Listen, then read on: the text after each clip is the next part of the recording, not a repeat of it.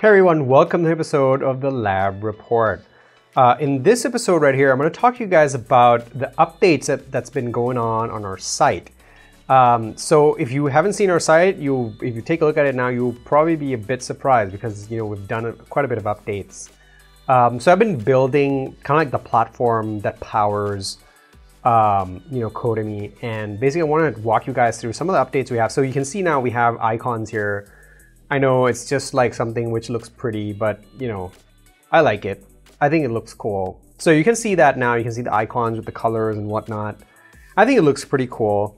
Um, so yeah, there. That's one update. Uh, that's very like you know much like vanity update. But um, I want to talk to you guys a little bit about this over here as well. Learn React on Rails.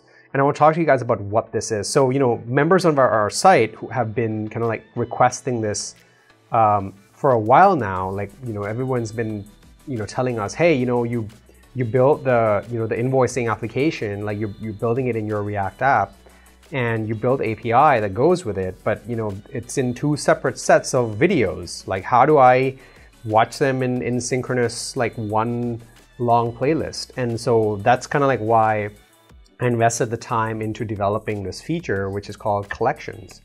So collections is now um, you know something live on our site. You can go check it out. It looks pretty cool. So what you can do is you can um, you can see the whole sequence of you know how I actually created the videos.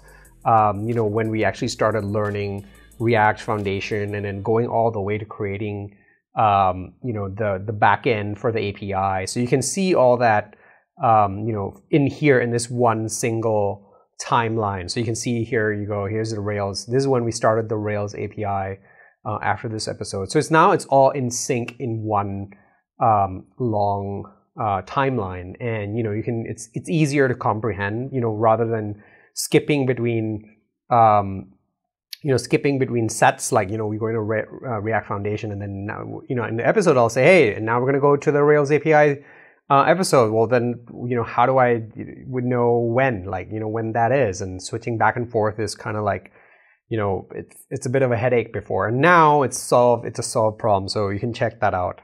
Um, so you can scroll down and see, you know, it looks very pretty, um, you know, super cool. And what happens is when you click on one of these episodes, so let me um, go all the way up to somewhere like here.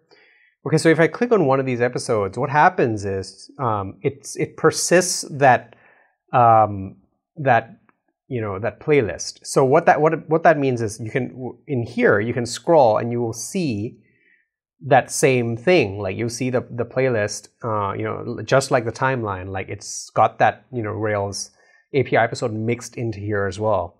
Um, so that's pretty cool. So basically now you know it should be a lot easier for you guys to build things using, uh, you know, watching through the uh, React and uh, you know building the API along in Rails.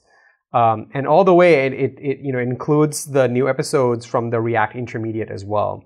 So I also want to announce that you know I understand that you know I am aware that some of these videos are out of date, um, like the Webpack videos, the Babel videos. So what I'm going to do is I'm going to go back and revise them and re uh, upload uh, as soon as I'm done with them. So I just want to put that out there so you guys know that I'm aware and you know I will update these videos. Uh, you know I won't update all of them because some of them con contain concepts that still work even if you're using a new version of React or MobX or whatever. It's still the same concepts. Like code still probably works. Um, and if it doesn't, I will go through and update it uh, and revise the episodes, but they will continue in the same sequence. So basically, for example, React Webpack from scratch, it will still be React Webpack from scratch, but using version 4 instead of version 1 or 2, whatever this old version is.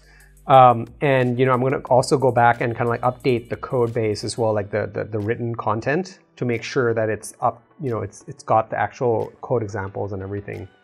So just want to put that out there. Um, so if you haven't been to our site, check it out. We have a ton of update.